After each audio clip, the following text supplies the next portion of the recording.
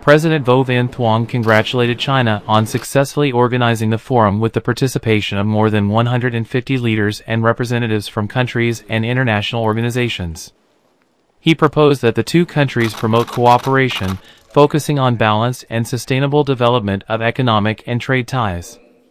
He also proposed that the two sides effectively handle disagreements at sea and respect each other's legitimate interests in accordance with international law and the 1982 United Nations Convention on the Law of the Sea.